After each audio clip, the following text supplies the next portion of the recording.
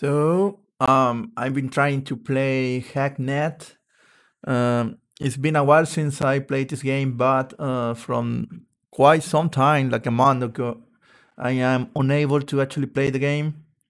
I just reinstalled the game, uh, but every single time I try to continue the game, it just uh, just breaks. Uh, I don't know if I am doing something wrong. Uh, let's try again. And as you can see here, uh, well, this time it didn't crash, uh, but it mentions something about uh, file corruption. I already uninstalled the game and reinstalled it and seems to be doing the same thing. It doesn't fix it. Uh, I try creating a new session. It doesn't work either. One, one, one, one, one, one it doesn't do anything. Uh, I try uninstalling and reinstalling. Uh, it doesn't do anything. So the game is unplayable. I wonder if uh, you can actually help me or tell me what to do. Uh, I don't really know what to do here. It seems like the the file got corrupted somehow.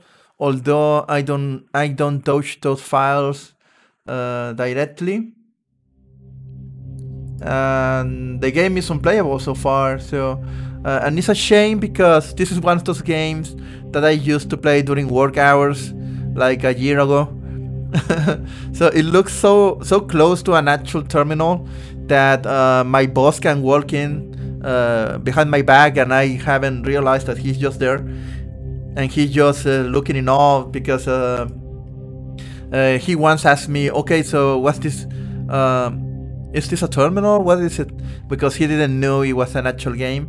So I, I explained to him that I realized how this uh, uh, this is a skin for a terminal that I'm using. So it looks pretty good and allows me to see computers on the network. that was a lie, but never mind that. It was very funny. So I was trying to play to continue the, the game because I was uh, advancing a lot on the game but uh, seems like I'm not going to be able to. Well, thank you for listening anyway. If you know how to fix this, please uh, send me a tweet at Jorge Escobar in Twitter and YouTube. I am uh, Jorge Escobar in YouTube too. So thank you very much.